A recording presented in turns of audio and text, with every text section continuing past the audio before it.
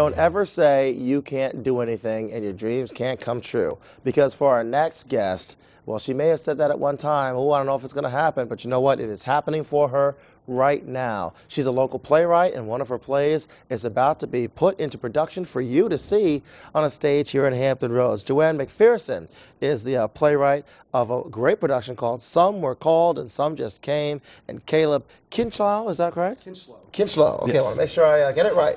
He is the uh, director, and it's great to have you guys here. Congratulations. Thank you, thank you. Now, is this the first time one of your plays is actually going to be put into a production? Yes, it is. How do you feel about time. that? Feel very great, very good about it. Very You've written some plays before. I've written them, but I've never brought them forth until now. And so, what is it about this particular play that you said, you know what, people should see this? Basically, a lot of my plays are written from things that I saw in life, and I basically have seen a lot of this, and this has shown me that if I bring it forth, letting people know that is not what you were, do what you were called for. Okay, well, what is it? What is it about? Basically, it's about two pastors, and one was called, and one just came, as the play, you know, as it says.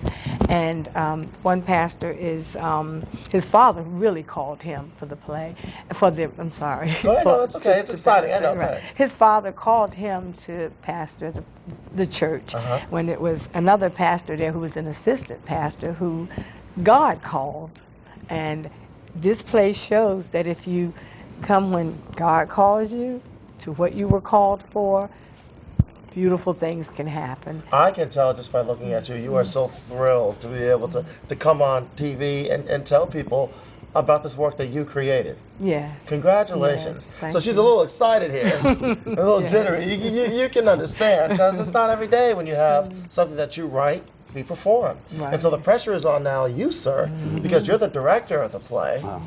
And so how do you guys work together as director and author, playwright? How does that dynamic work? Well, no, really, it's about taking her vision and with the overall theme of the play, which is about calling and purpose. Mhm. And the beautiful thing for me with art is that art acts like a, a mirror, reflecting the ideas, the cultures, and the fears of the general society. So hopefully with this show, we're trying to take those fears of what is your calling and purpose and reflect that back to the audience to help them give a better understanding about what they should do in life. Wow. Kind of um, make us visualize the play and, and the production. What, what can we expect to see? Uh, well, we have a lot of great talent on the show. Uh, we have Linda Holly doing uh, some original scoring for it. So expect to see a lot of great storytelling, a lot of great music, and expect to be really challenged, you know, with yourself about what you're doing. Huh. Yeah. Okay, you can't throw that out there without explaining that one. what, what do you mean by that? Well, I mean, a lot of times uh, with the show, it's like people do things just because they can do it, Uh-huh. and, and they can do it well, you know, which is which is good. Sure. But sometimes that's not necessarily what you're called to do. You know, with, with Joanne's vision, like she said, if you do things that you're actually called to do, then it's like your your life is a little bit more fulfilled and, and more joyous. You just feel complete Huh. in who, in who you are. So this is actually going to make us think. Yes. You know, I believe all art should do that. That's the best art when you Yeah, can really it, it commit is. to it. and- It is. Even the football that you like to watch on Sunday, it's still art. It's still art, and it makes you think. You know, Well, sometimes the way my favorite team plays, I wouldn't call that art. it's, it's abstract. Though. It's Let's not talk about that, though. Hopefully, they will be playing this fall, but that's a whole other topic. um, so, how did you guys find each other? Uh, we go to the same church. I plug in for my church. We go to Kingdom First. Um, our services are held at the Kempsville uh, Rec Center in Uh-huh. Virginia Beach. We have two wonderful pastors, Pastor um, Mark Lawrence and Dr. Don Lawrence. And we met there. I, in the beginning of the service, a lot of times we'll show work that he has done and produced. And I saw that, and I, he's the one.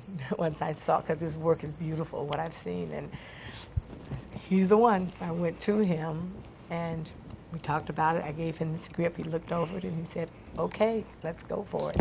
Look at this. What a great story. Mm-hmm. And so you said, okay, I'll, I'll do it. Yeah. How much work does it take? You know, putting together any type of show is a lot of work.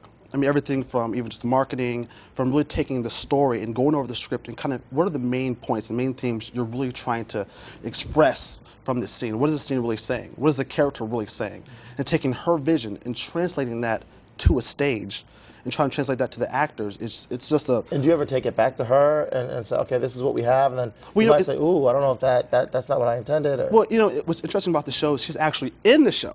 You know, she Ah. plays one of the characters. Um, so she's, she's constantly there, and, and of course you have to. You have to take it back to the writer because it really is her vision. You know, but she trusts me enough to acting, you're like do it. Woody Allen. if you guys get discovered, we want 10% here at 13 Hey, News. fine, that's great. That's you know what, good for you, and I, and I hope a lot of you at home can go on out and uh, and check it out. This is a dream come true for Joanne, and it's uh, good for you. Some were called, and some just came at the Chrysler Museum, uh, June 25th at 7 p.m. Uh, you can see the ticket prices there. Advance tickets $15, 25 at the door. Call 450-6450 for more information. Look at that. They're on Facebook.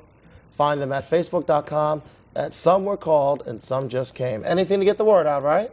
You have to, yeah. All right. So, what do you two want to do when you grow up? When you grow up.